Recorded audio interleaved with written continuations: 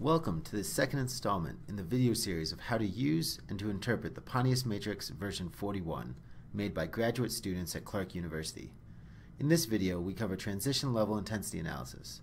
Specifically, we describe how the Pontius Matrix evaluates transitions to Category 1 and from Category 1. Transition level intensity analysis examines the transitions from one category at the initial time to a different category at the final time. Given the gain of a particular category, we compare the output from these two equations. The first equation is the observed transition intensity, which is the size of the transition of the gaining category divided by the size of the losing category at the initial time. If the first category were to gain with uniform intensity across the entire area, then the second equation would be the transition intensity analysis that we would observe.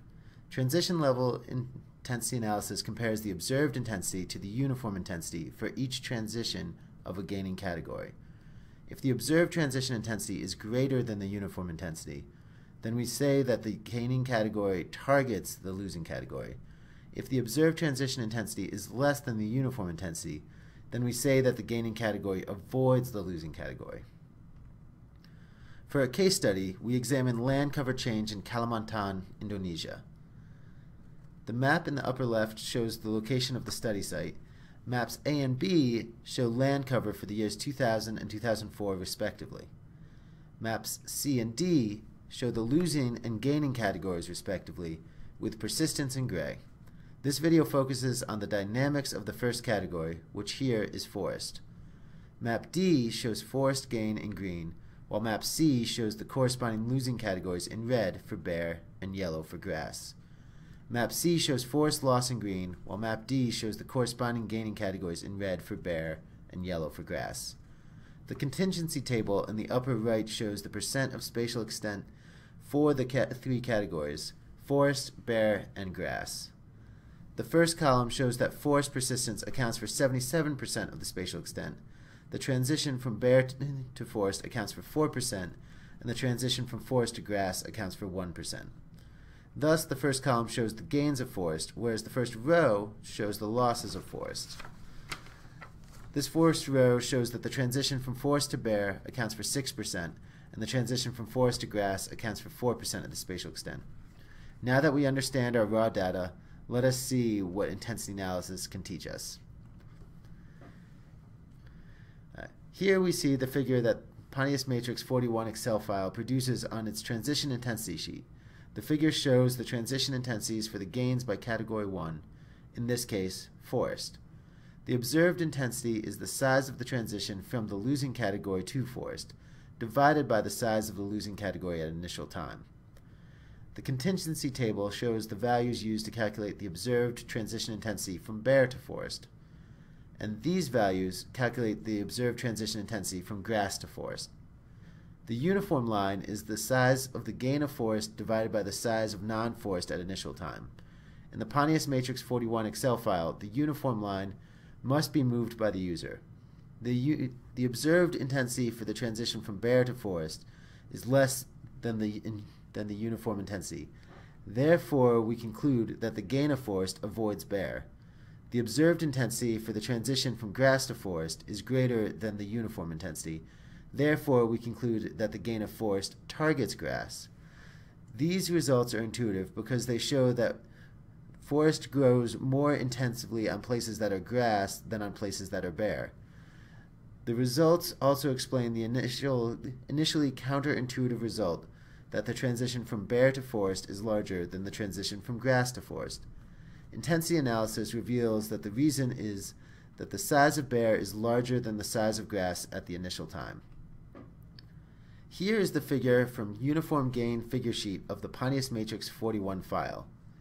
There are two bars for each gaining category, both of which show the size of the transition from category 1 to the gaining category. The green bars are the observed transition sizes. This is the observed transition size from forest to bare, and this is the observed transition size from forest to grass. If the gaining category were uniform, then the size of the transition from forest to the gaining category would be the red bar.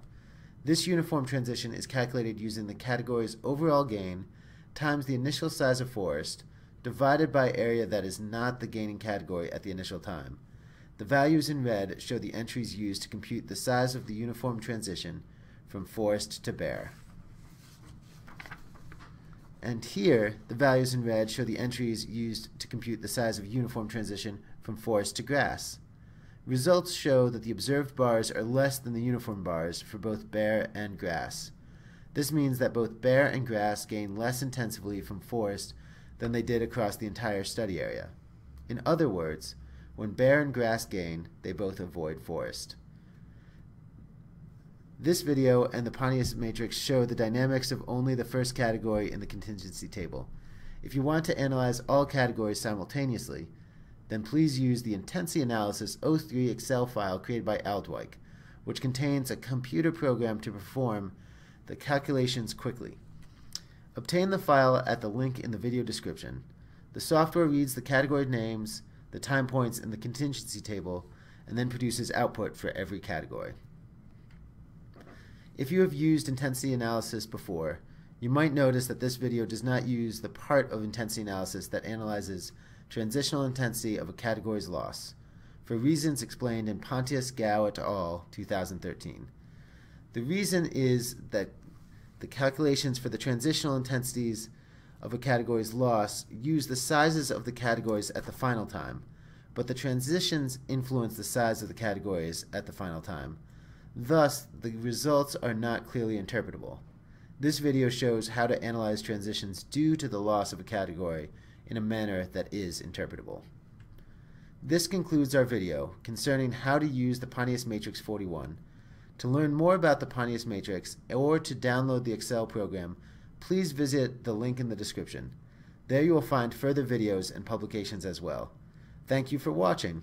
We encourage you to continue with our video series and watch video 3, How to Interpret the Intensity of Quantity, Exchange, and Shift Difference.